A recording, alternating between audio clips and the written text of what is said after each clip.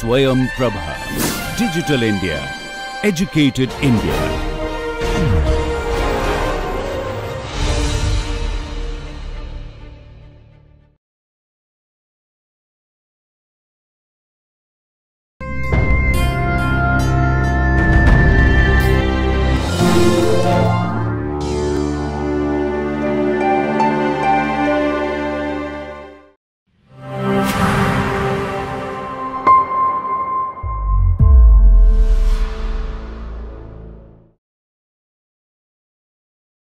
All right, so welcome back to this uh, last in the series of lectures on spatial statistics and spatial econometrics.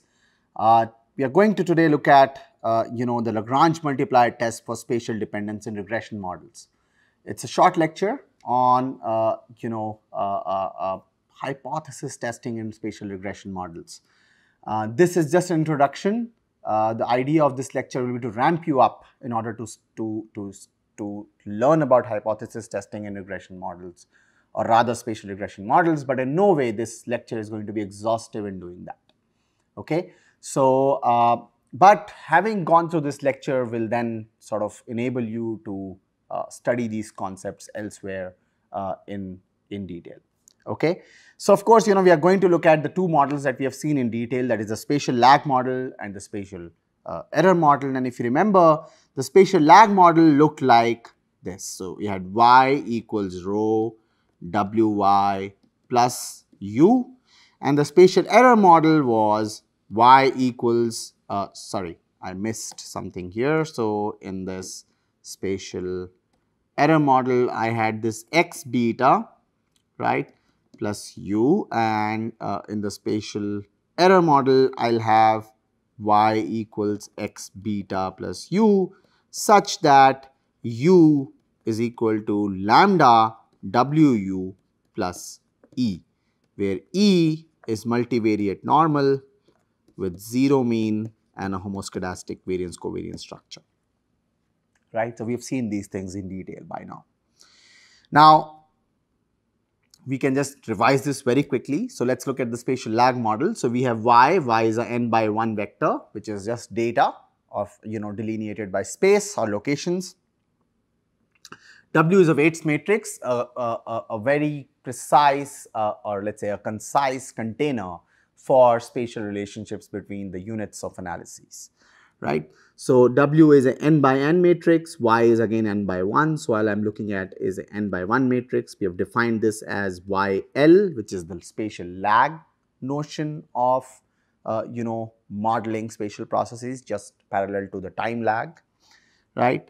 X is a n n by k matrix of k covariates and beta is a k by 1 vector of coefficients. U again is a n by 1 random term, error term comprises of everything that we could not model, uh, you know, uh, in this in this uh, quest for measuring or explaining the variation in y. The special the spatial error model is slightly different. Instead of including the you know spatial effects in the mean outcome uh, model, it includes uh, such effects in the error process.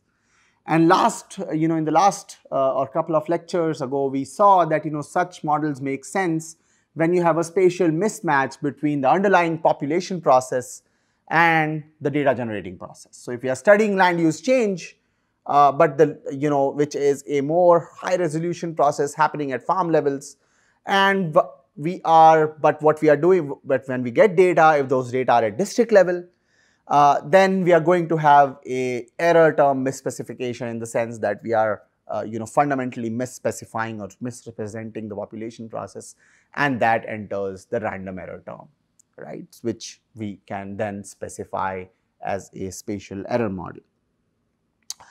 Um, what is the what is the aim for hypothesis testing? Hypothesis testing wants to figure out whether it makes any sense to include these spatial effects in the models or can we just live with the non-spatial models that we are very used to you know even before we studied this uh, this particular course right and that will depend on whether or not rho is equal to, if rho equals 0, then you know I'm done. I don't really need to worry about all the weights matrix and all the you know uh, computation and all the techniques that I need to sort of you know uh, uh, imbibe for for conducting spatial regressions.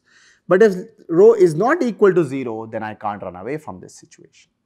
Similarly here, if lambda is equal to 0, you know, I can go back and uh, to my, you know, traditional analysis, something that I know of regressions before even I studied spatial regressions or spatial statistics, right? And if it's non-zero, then everything that we have studied in this course kicks into action. And that will lend us our null hypothesis and our, you know, alternate hypothesis for this particular exercise.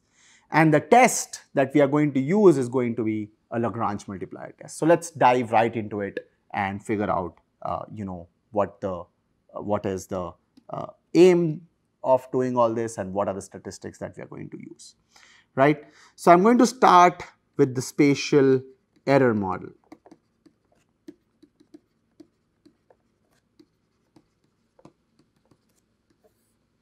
Okay. Okay, so I have y equals x beta plus u such that u equals lambda w u plus e where e is multivariate standard normal. Okay, not standard normal, multivariate normal with mean 0 and variance sigma squared and variance covariances, the covariances between uh, the E errors are 0, right.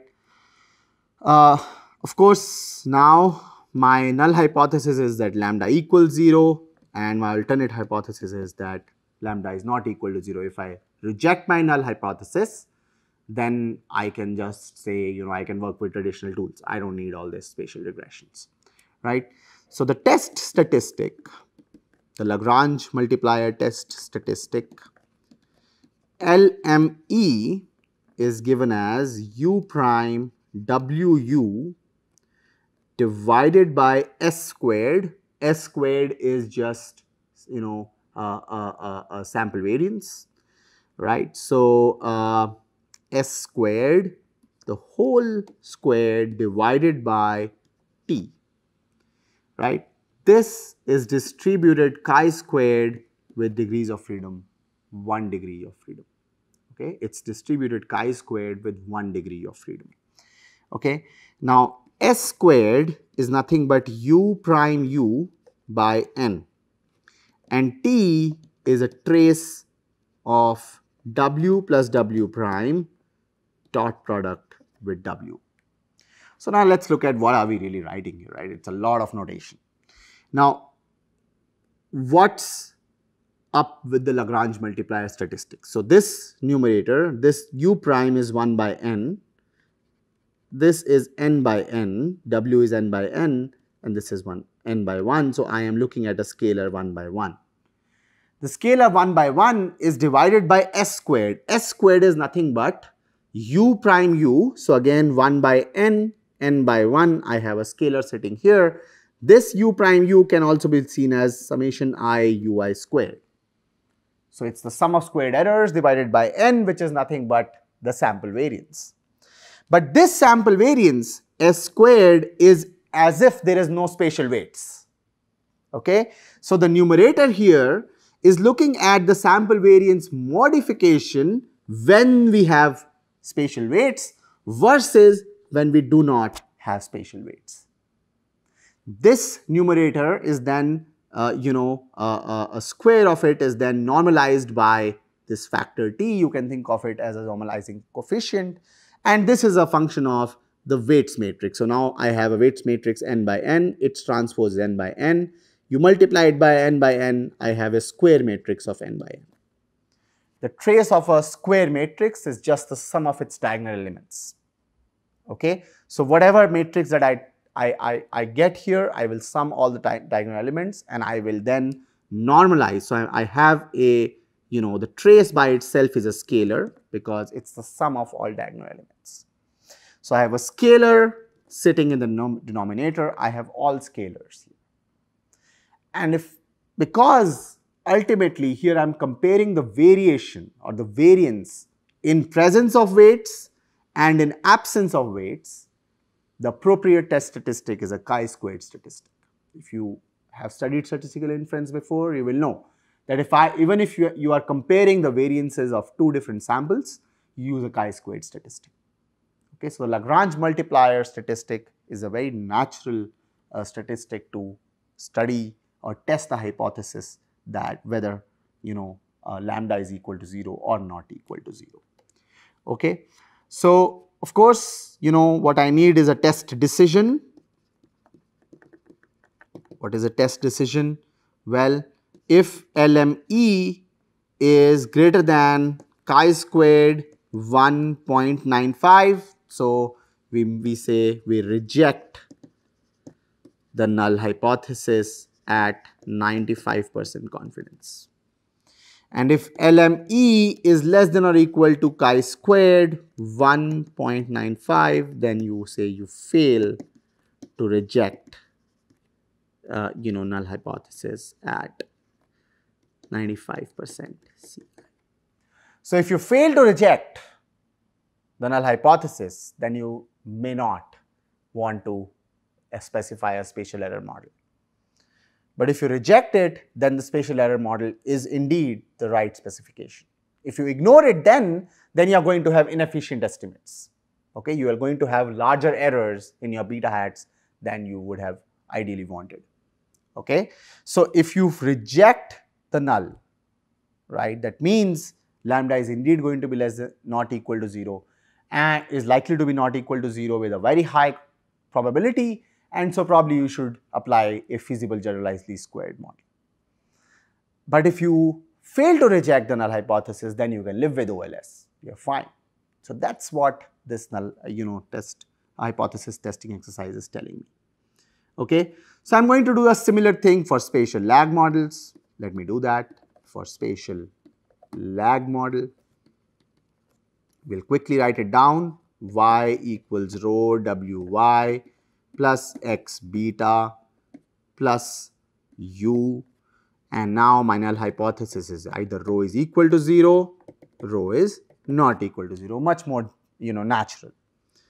Just like earlier, I am going to define a test statistic. This time I am going to call it LML, that is the lag. This is going to be U prime WU. Oh, not u this time, it's going to be u prime wy because now I'm explaining the variation in the mean outcome and not in the error outcome. This divided by again s squared whole square divided by a normalizing constant nj. This is again going to be chi squared 1 that is chi squared distributed with 1 degree of freedom right and s squared just like earlier is just u prime u over n right? And nj is equal to t plus wx beta prime m wx beta divided by s squared where t is equal to the trace of the same matrix that we are used to by now right? And m is a projection matrix. I minus x prime x prime x inverse x prime. Sorry I have uh, there's a typo here I needed. Okay I'm going to rewrite this. M equals I minus x x prime x inverse x prime and then close the bracket. Okay this is a projection matrix. The idea is the same. Now the, the, the, the, expression is a bit more complicated, but the idea is exactly the same that we have seen earlier. Okay? And of course, what we are interested in is the test decision. That is, if LML is greater than chi squared 1 at 0.95, this can be sourced from a chi squared table, then we will reject the null at 0.95, uh, sorry, 95% confidence. okay. And if LML is less than or equal to a chi squared 1 at 0.95 which again will be sourced from the table, we will fail to reject the null at a high confidence of 95 percent. Okay. Now, if you reject the null, then you cannot avoid a spatial lag model. That is indeed the right specification. And if you reject the null and you still go on to ignoring, if you go on to ignoring this rho wy factor, then all the beta hats are going to be biased. And higher the rho, the greater is the degree of bias, something that we saw through a, a simulated plot by Luc Anselin earlier, right? And, and if you fail to reject the null, then you can go back to your OLS, just like we talked about in the previous case. Okay. So, ultimately we are, we are also often interested in choosing between these uh, you know most appropriate specifications. So, this is the starting point, right. If I am interested in choosing between whether I should run a spatial error model or a spatial lag model, then the starting point is to first figure out whether figure out whether individually they make sense. If say both individually make sense, then probably we should go back and look at a likelihood ratio test, something that I'm not going to talk about here. But you know, basically what you're saying is saying is I'm trying to maximize likelihood in, in, in, in estimating the spatial lag, in estimating the spatial error. I want to see which fits my data better. Okay. So we have to apply, you know, again, as I said, this module on hypothesis testing is a very basic introduction. It does not do justice to hypothesis testing in spatial regression models at all. But it's a ramping up exercise, you know, it's trying to, I'm trying to empower you in order to now go back and read the book and, you know, uh, uh, uh, figure out uh, how to conduct, uh, you know, hypothesis testing in various different settings of, you know, with spatial regression models. Okay. So, with that, I'm going to end the lecture modules of spatial statistics and spatial econometrics. Going forward, we are going to move to tutorials that is hands-on exercises with ArcGIS and R, right? So I want to congratulate you for making this far and the rest of this course is all uh, your software ridden, uh, driven and it uh, is basically working with actual data and applying all these theories that we have been learning over the course of last, uh, you know, almost 10 weeks now. Okay. Uh, so thank you very much uh, for your attention and I'll see you on the other end with the hands-on exercises. Thank you.